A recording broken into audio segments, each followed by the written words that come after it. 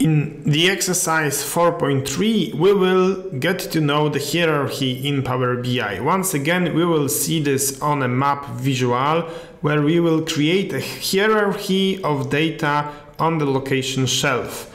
Uh, we will use the country, then the next level is state, and the last level is the city. And once again, we will analyze the sales.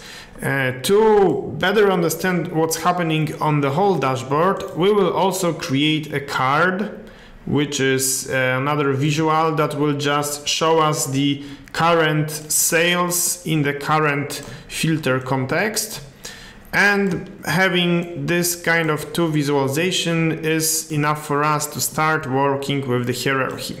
Uh, the hierarchy icons can be found in the top right corner of the chart and the best option to start working with the hierarchy is to turn on the drill down mode, which means you can now go to France, for example, and drill down into this country to have a look on the states where we sell our products we see some kind of uh, state of uh, France and then we can go even deeper just by left clicking and have a look what are the cities uh, where we sell all of this information.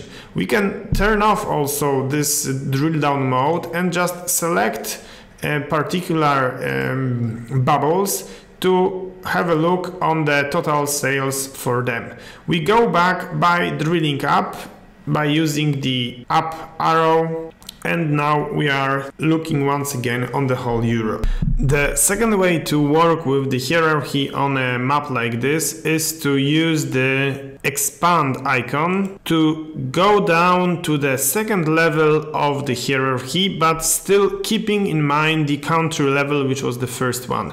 Now we see the sales by country and state and once we hit the the expand button once again, we go down to all of the cities in Europe where we sold our products. Once again, we drill up using exactly the same icon. We have also another icon which is called go to next level, but this one is not recommended since the geocoding uh, service will probably give back some errors. In this exercise we can also have a look at the formatting options uh, for this kind of chart where we can change the theme to for example grayscale.